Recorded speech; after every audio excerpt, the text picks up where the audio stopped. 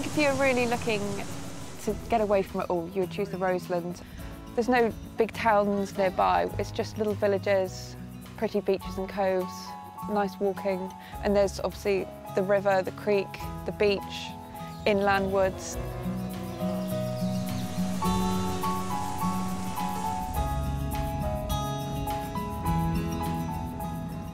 Kind of like a magnet. Um, it always draws me back. I've tried to move away in the past, but I've always ended up um, coming back to my roots. It's a really strong community, um, and it's just so so stunning and, and quiet. It offers a really nice nice pace of life. Good food on the Roseland, it's everywhere, it's all around us. We think it's really important to support local producers. Uh, there's no point in buying food that comes from halfway around the world if you can get your hands on it locally and seasonally in Cornwall and it tastes delicious. Got a higher cooking so it doesn't smoke as easy as olive oil. Happy Filly Cookery School was the brainchild of me and my brother-in-law, George Pascoe, whose family have farmed here on the Roseland Peninsula since 1853.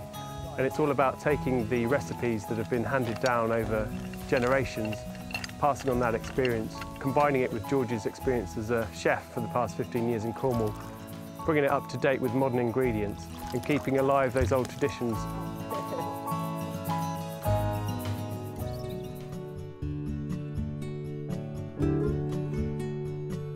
On the Roseland, it's very special because you have got several gardens and privately owned estates.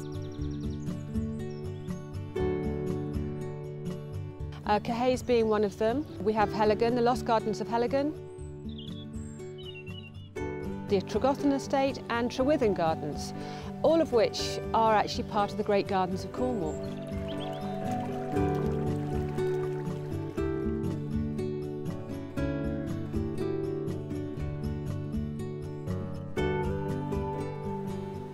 The Roseland is truly a place like no other.